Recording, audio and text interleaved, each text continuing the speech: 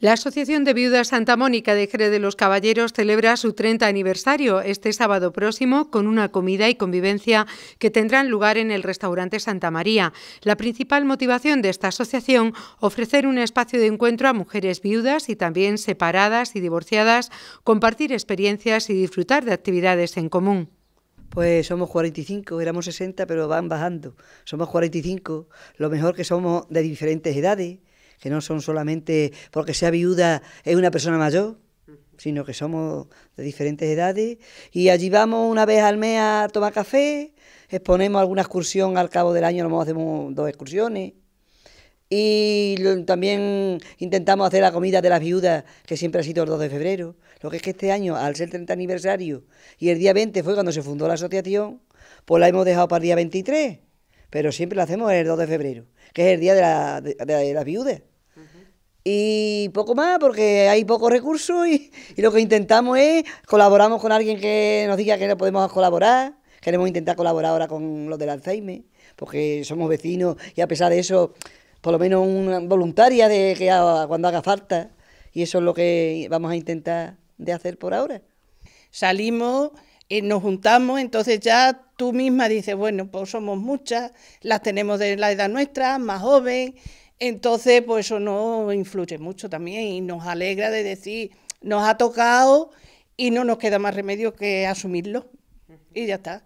Luego, pues, pues las puertas para adentro, pues cada una tiene sus cositas. Pero a ver, una vez que salimos, pues tenemos que salir a pasárnoslo bien, porque es que otra cosa no nos queda. Pues mira, vamos a intentar, el ayuntamiento este, esta vez va a colaborar con nosotros, nos va a poner música, porque siempre que hacemos la comida la hacemos sin música. Porque como no somos muchas y tenemos gastos, ¿no? Pues la música se suspende. Y sin embargo, esta vez vamos a tener baile, que eso es lo que nos gusta, el, baile. Y eso no lo va, eso es el ayuntamiento. Se va a encargar de lo del baile. Y luego pues vamos a hacer mm, la comida en el restaurante Santa María.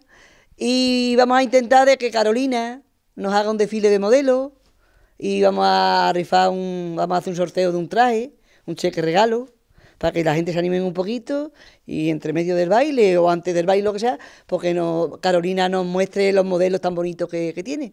Y eso es lo que vamos a intentar hacer. Que se animen, que tiren para adelante, que no, que ahí tienen las puertas abiertas para todas las que quieran. Hombre, obligarse no se pueden obligar pero la que quiera, y estamos nosotros, para los que quieran, que se apunte, que pasamos unos ratitos buenos, nada más que vamos una vez al mes, pero vale, no lo pasamos bien. Que la asociación esta es para separadas, solteras y viudas, o sea, que solamente no son para viudas, porque tenemos también separadas y solteras, que también le lo digo para si alguna persona que no sea viuda, que también puede ir porque los estatutos lo, lo, marcan, los estatutos lo dicen, de que puede ser soltera, separada o viuda. Son muchas las mujeres que han formado parte de esta asociación a lo largo de su historia. Desde su directiva existe el ánimo de dar continuidad a la misma. Sí, sí, en el libro de acta ahí donde se puede ver lo de gente, parece a que llegan a, 180. Las socias han ido pasando. Claro, muchas han dado de baja ya, ¿no? Y, pero que ahí se ve en el libro de acta que, que, han pasado muchas viudas. Y al principio sería mucho más difícil porque una viuda salir de casa antes no es como ahora. Pero bueno, ahí se fundó y ahí va luchando.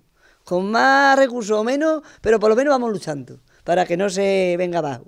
Porque de Badajoz creo que ya hay unas cuantas asociaciones que, ya saben que no, que no siguen para adelante porque al no haber subvenciones se aburren y yo lo que no quiero es eso.